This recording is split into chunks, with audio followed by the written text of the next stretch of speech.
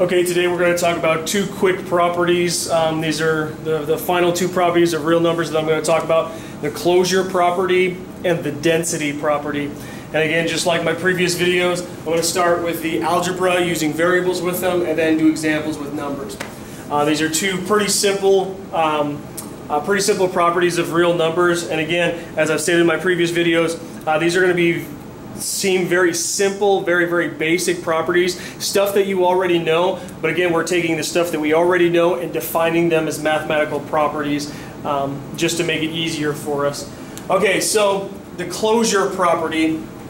Uh, closure property simply states that um, uh, the if you add two numbers together or if you multiply two numbers together, you're going to get a real number. Uh, actually, I should be more specific. If you have two real numbers and you add them together, you get a real number. If you have two real numbers and you multiply them together, you're also going to get a real number.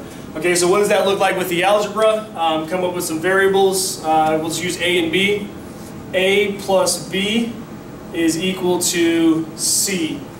And now this doesn't really make a whole lot of sense at this point with the variables, but it just means A and B, if they're real numbers, then when you add them together, you're simply just going to get another real number. A, B, and C are all real numbers in this case.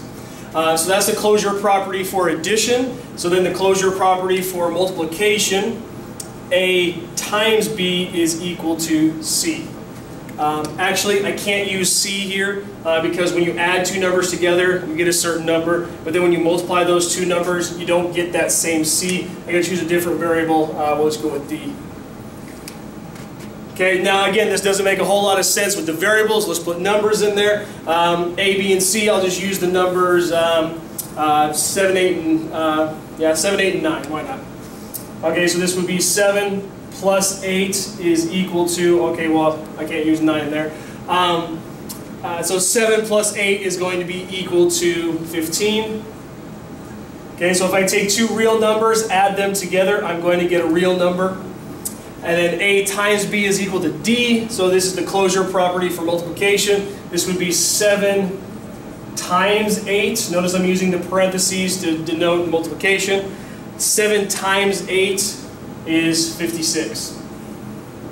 So D in this case would be 56. So again, take two real numbers, multiply them together, you get another real number. Again, very, very basic. We all understand this. We all know this. We're, going we're just taking these answers and defining them as simple property. Closure property of addition, closure property of multiplication. All right, now on to the density property. Um, density property simply states that uh, between any two real numbers is another real number. And that's kind of hard to do with variables, so instead I'm going to do this with just a number line. And so forget the algebra, forget the numbers, I'm just going to do a number line for this one. Okay, so I'll start my number line here and then here. Again, number lines go on forever, so I'm going to include arrows on both sides. Okay, so I got to choose two real numbers. Uh, again, for this demonstration, I'm going to choose whatever I want to. It doesn't really matter what I choose. Um, for example, I'll choose 0 and 1. Okay, those are two real numbers, 0 and 1, two very basic real numbers. Okay, now density property states that between these two numbers, there's always going to be another real number. Okay, so one number that is between this, let's say just right halfway in between, is 0.5. There we go. And now that's pretty easy to understand. Okay, there's always going to be a number between two numbers, but you can keep going with this density property. So for example, if I wanted to go, if I, if I choose two other real numbers, so example of 0 and 0.5, if those are my two new real numbers, then there's always going to be a real number between them.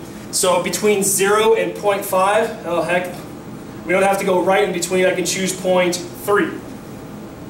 Uh, let's do 0 here. 0.3. Okay, 0.3 is between 0 and 0.5, so that follows along with the density property. And I can, I can continue to go with this. Um, so I can choose 0 and 0.3. In between there is 0.1.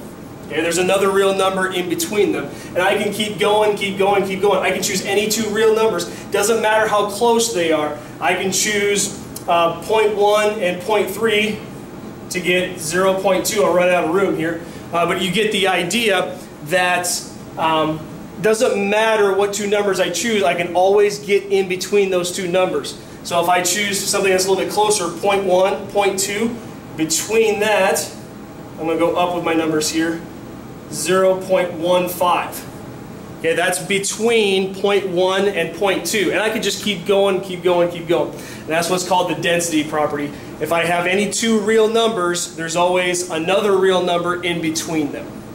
And those are the two properties, the two last properties uh, for real numbers. We have the closure property, closure property of addition, closure property of multiplication, and we have the density property, and those are the two last ones for now.